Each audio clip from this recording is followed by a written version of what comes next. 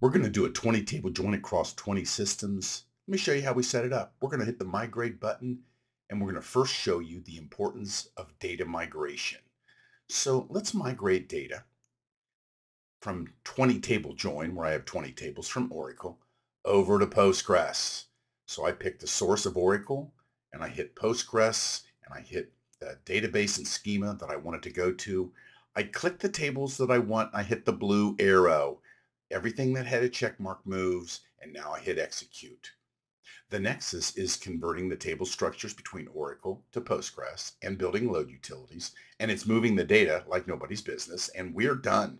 So a very important piece of this is moving the data. I can even see the logs. So these are the load scripts that were built automatically. Now, I'm going to convert the DDL or the table structures. Look how fast that was. It usually takes months. I converted all my Oracle tables over to Postgres just to show you a big part of migration and joining data is automatic conversion. Now, here's the next piece of this. Let's look at this in dark mode. Nexus is like a chameleon. It's called the chameleon because it can change colors and fit in any environment. So here we go. Isn't that pretty? Saves the eyes. Now I'm getting down to my Postgres system. I'm going to go to my 20 table join where I just moved this data. This is how we set it up we put these 20 tables on 20 different systems where we will join them across 20 different systems. So first of all, notice that Nexus, you can write the SQL. It's a query tool. It brings back the result sets brilliantly. Queries all systems.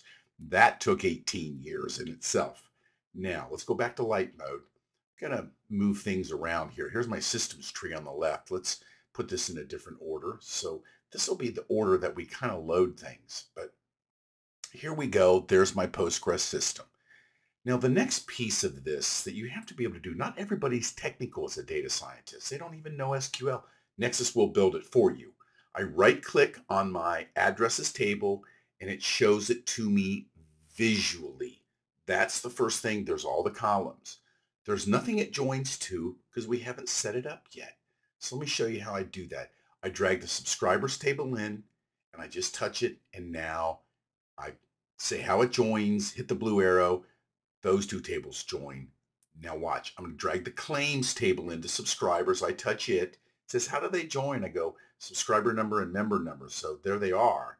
But now I hit subscriber number and subscriber number, hit the blue arrow member number and member number and hit the blue arrow and you can see that's how it joins. So the tables are all set up. We won't have to do this again. Has to be done one time. Now watch very carefully.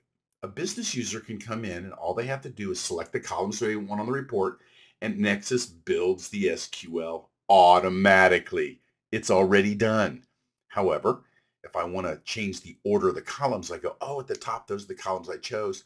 Yeah, I want first name first. I want last name be next. I don't need claim ID. Oh, I forgot gender. The stuff at the bottom is what I didn't click.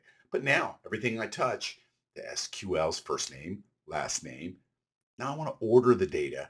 So I want to order by first name, last name, and claim date descending. Now I, I'm sorting the report at the end. So this is what I have. Go to my joins.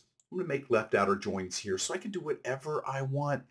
All point and click no matter what system you're on, it builds the SQL. And now you can see the next portion of this. Okay, you have to be able to have a visual tool that builds the SQL for the user. Now, let's get this set up once again with the Super Join Builder. Notice now, the next time I come in here, it shows me what joins together by hitting the Add Joins. I'm going to save this join this is how you set things up for your business user community. So I can share it. I can say, okay, from this point on, this is already set. Users just bring this up. They point and click. They're running these reports. So you saw how I set it up for all my business users and I saved this. The next time a business user wants to do it, they just go right to the Super Join Builder. They go right to this load join and they go, I want to do this insurance 101 that you saved. And there it is. They pick the columns they want on the report. And now they go, oh, oh, this is awesome. I'm executing this like nobody's business. We spent 18 years, so you would spend about 18 minutes. I've just set up my 20 tables on just Teradata. I can see the SQL blown up for me. I'm going to go look at the size of each table by hitting the magnifying glass there. And I can see the larger tables versus the smaller tables. So I can make decisions about where I want to process things. And when I come down here, I can even see the systems and the objects to say, oh, it's all on, uh, this is all done on my Teradata system here. And these are the size of the tables there. I can kind of get a view of the systems and the tables. But most important thing when I'm ready, I hit execute. This is doing a 20 table join on one system. In this case, it's Teradata. And now I'm going to get my 2000 rows here and it's processing pretty quickly. And there are my 2000 rows. And here's my report of a single system doing a 20 table join. And it is extremely beautiful. You can see so much data here. Could we do a 100 table join across the 100 systems? Yeah. I'm going to save this result and I can do a lot with it. I can save it as an Excel, a JSON. I can save it as a Tableau or a Power BI. And that's the way you can save things and put them on any system or put them any place. I save this on Excel. Now I've got an Excel spreadsheet of this data. That's important too. Now here we go. Get ready. I'm going to show you how you do a federated query across systems. We'll start with our Vertica system. I move that to the top this time. We go to our 20 table join and I'm going to come down here and I'm going to say addresses super join builder. So now the Vertica table is out here in the super join builder and I'll come to my Teradata system and I'll go to my 20 table join where I have the same 20 tables and I go, okay, I'm going to drag in subscribers. I touch the Vertica table and I go, they join on subscriber number. There's my blue arrow. Once I say that, they go, okay, the on clause is added to that join. We know now how it joins. It's got to be told one time. I look here, the, the Vertica table is a little bit smaller, Teradata, Teradata table is larger. Notice the little icons up there, the V and the T. Now we're going to add in our next table. Let's go to our snowflake system, open our snowflake tree. We're going to come to claims, drag it in, touch the subscribers table. That's what it joins to. And they go, well, define how it joins. We've seen this before. Subscriber number, subscriber number, blue arrow. And in this case, member number, member number. And now we joined these three tables. So now we're doing a three table join across three systems. Pretty sweet. You know how this works now. I'm going to pick the columns I want to see on the report. I want first name and I want last name.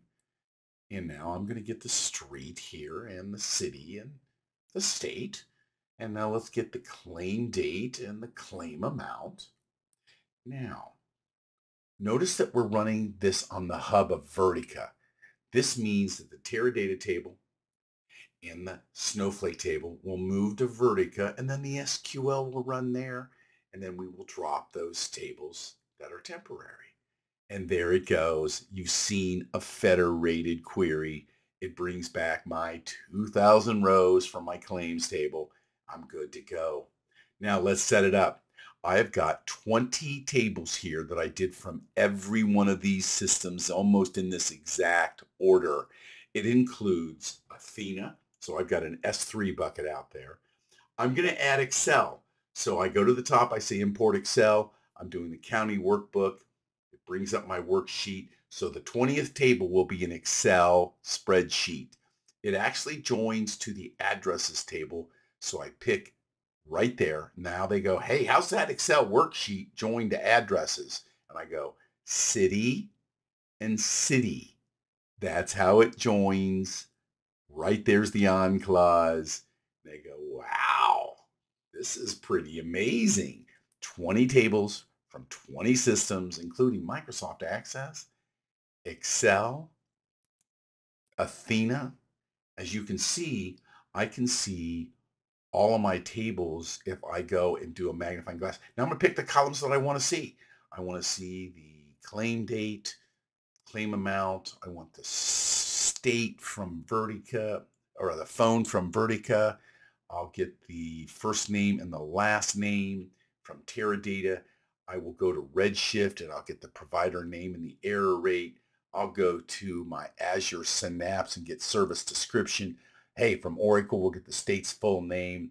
I will go to my Microsoft Access table and we will get the facility number, the technician. Now let's go get with the, uh, we'll get the nurse and the production hours of the hospital. I'm going to come down here to my Postgres system and I will get the grocery costs per state. I'll get some crime statistics from DB2. I'm going to go to SQL Server and get the doctor's name who performed the procedure, the college they went to from MySQL. it's just unbelievable. Okay, so now I'm over here and I'm going to go to my Greenplum system and get latitude, longitude, my SAP system to get state the state population. We'll go to Netezza, get the state tree and the state flower. I'm going to my SQL SQLite system and get state governors. I'm going to get the uh, another or a different Oracle system, a different MySQL system. And now I've picked the columns I want on the report. Let's not forget, I want to see the county name uh, in my Excel spreadsheet and the state name. SQL's been built for me. You've seen it before. If I don't like the way the columns look, I can go and change anything I want to change. change the order. I can do left outer joins, whatever I want to do here. But we're good to go. The SQL's been built. I'm going to change, at least put a few things in here so we can do it better. I got my first name and my last name. I'm going to order by first name, last name, and I'm going to do it claim date descending. So I'm going to run this report from different systems. You'll see this. This is the brilliance behind the Nexus. Okay. Now I've got everything here that I need to do. The data is going to be sorted. So we will see the same report multiple ways here. Watch very carefully because this is the brilliance behind it. I can process this on any system, including my PC. So however it's best to process the join. That's why I can look at the, the graph and the chart to see which is the biggest table. If I got a billion row table, you don't want to move that. You want to process things on that system where it resides, where it sits. Sometimes if the data is smaller, process it on your PC. You can process it on a DB2 system or SQL Server system. So my hub right now, it is Vertica. So if I hit execute, everything's moving to the Vertica system. And it's going to, there's the logs. That means the data's movement through the scripts, just like you saw before with the data movement. It's moving only the columns and the rows needed to process this. And there are my 2000 rows. That is a 20 table join across 20 different systems. Unbelievable. But it's taken 18 years of constantly working with the largest customers in the world and adding to this. Now I'm going to change the hub. Watch this very carefully. Look at all the systems. I can run this anywhere. When I change this hub, now I'm going to bring the SQL up because I'm going to change this to a SQL Server hub and watch how that SQL changes. So come down here, find SQL Server, I go, that's the hub where I want to process this. It says, you want to change the hub? And I go, yes. It says, this is where I'll put the tables temporarily. And there is the SQL change. That's TSQL. Nexus knows how to change the SQL. And when I execute this, all of these tables, instead of moving to Vertica, are moving over to SQL Server. And now the SQL's processed. There is my report. Same report, same order, 2,000 rows, but this time it was processed on SQL Server. Hey, hard to believe? Let's do this again. I'm going to process this on my PC. That means every one of these tables will be queried separately, almost like a single query.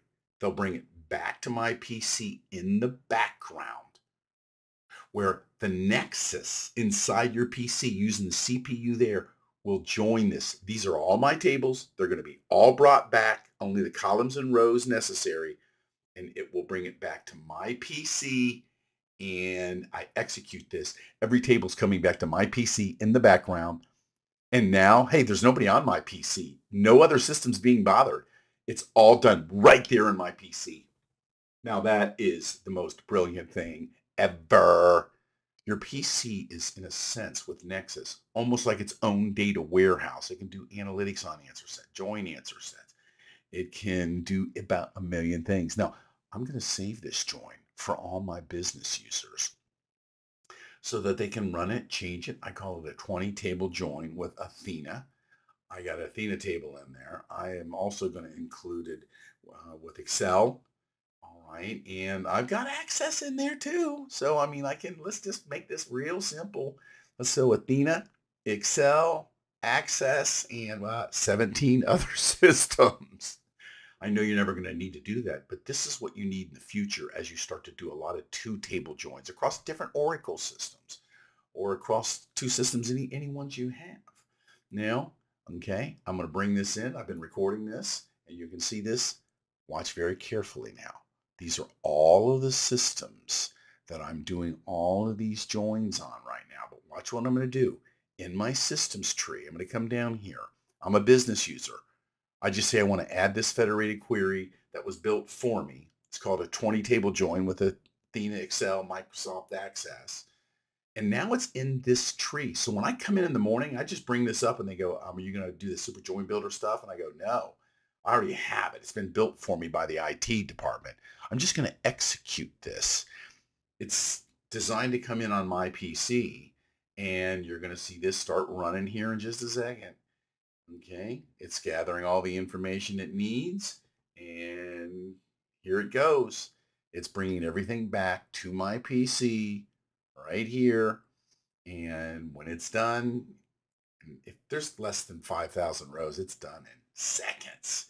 It's running and all 20 tables are coming back. You can see them coming. There they are. They're coming to my PC where they are about to deliver the report for the business user. There it is, 2,000 rows, same order, exact same thing we had. If tables were updated underlying tables, this could be a bigger report. That's how you do a 20 table federated query across 20 systems. Now, if you had 500 million rows, you could use the Nexus server where you set everything up on your PC, but you run it through the Nexus server and that Nexus server is the conduit that brings in all these systems. I'm Tom Coffing, CEO of Coffing Data Warehousing. If you want to try Nexus, all you have to do is give us an email, sales at coffingdw.com. Yeah, there it is right there. Just email us and we can get you some trials and you can try this out. Let me give you my cell phone. Give me a call at 513-300-0341. Thank you so much for coming.